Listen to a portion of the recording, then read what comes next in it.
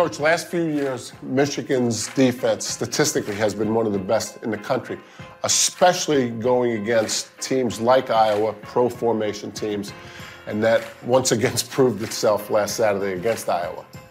Well, when the Wolverines are playing great defense, they're very sound. Obviously, they got very good players, but they're also they play single gap defense. And for the viewer here, the gaps are the A gaps are on each side of the center. So your A gap is the interior.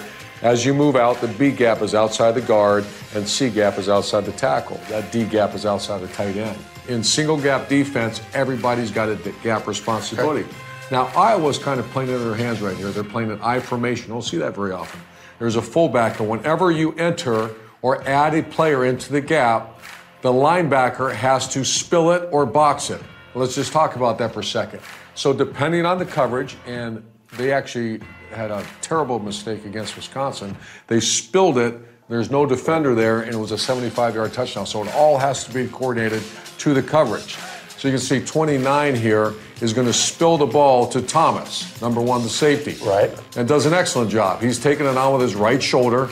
This is not by accident. This is very well coordinated. And Thomas knows that he's the free player. Freeze it right when Thomas gets there. I mean, that's exactly. I mean, every like you say, every gap is covered. There's someone in the A gap, the B gap, the C gap. And for the viewer, that's a, you, this is well done.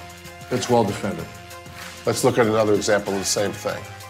Okay, here's another play by Iowa. Once again, they're kind of playing right into the teeth of the Wolverine defense. Uh, they're just trying to, obviously, in the red zone, uh, get some plus yardage. Know there's going to be a free hat.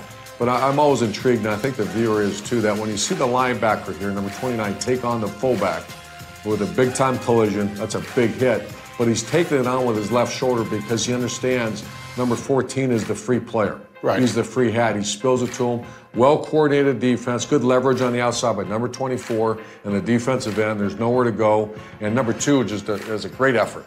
Great effort. He actually beats a, a, a double team block there.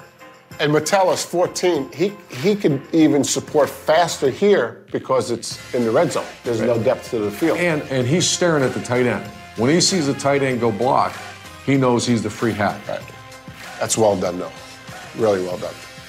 So that's an example of the run. Let's go and take a look at some of the pass plays that Iowa did against Michigan.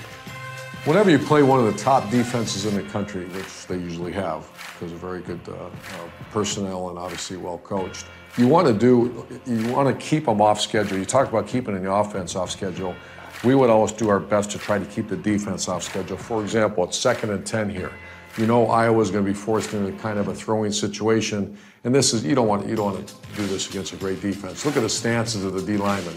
You can just tell the elongated stances. This is much different than anything you saw. Now they're just teeing off because they know right. it's going to be, and plus it's an empty set. You can see there's no there's no threat of run. So what's that mean? These guys just come screaming off the ball. Iowa really has no chance. I mean, as hard as they're pouring off the ball, watch Nate Stanley one, two, three. By the time he sets his feet, he's already getting pressure. People talk about keeping the offense off balance when you face a great defense, you got to break your tendencies. If you're if you're just going to go run, run, pass, or run and a long yardage pass, you don't want to do that against great personnel. And everybody talks about Michigan's pressure defenses. This is a four-man rush. Four-man rush, but look at their stances. Right. I mean, they're sprinter stances now. They're not. They don't care about a run. Right. There's no run threat. And sometimes, a lot of times, I think, isn't there a signal to the defensive line where you actually tell them, if it's a run, it's my fault as a coach. You rush the passer. That's right. And green, green, green, right. or blue, blue, blue. Green means run, blue means pass. Right. That's old school, Gerry. That's good. Old school, yeah. Now, as the game goes on, this is in the fourth quarter.